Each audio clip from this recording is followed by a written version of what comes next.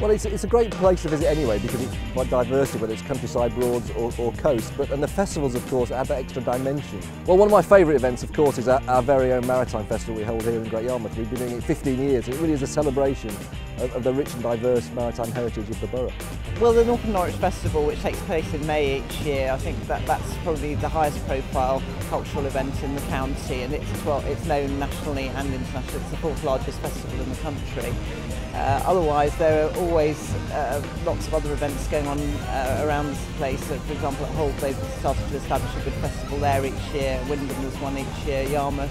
Uh, but they, they, all have their different characteristics, so they, you know, sometimes they'll appeal to the same people and sometimes completely different people, but it's always very lively, there's lots to do. Well, if you want evening entertainment, there's a wide range of theatres around the county. The Theatre Royal is the biggest at 1,300 seats, but there are theatres in Thetford, in Cromer, in Sheringham, in King's Lynn. The, theatre, the wonderful theatre is the St George Theatre in Great Yarmouth. Uh, if you want, however, at Christmas, a great evening out, the Thursford Spectacular John Cushing's amazing, astounding, spectacular Christmas show way out in the boonies at Thursford. It's a treat for everyone.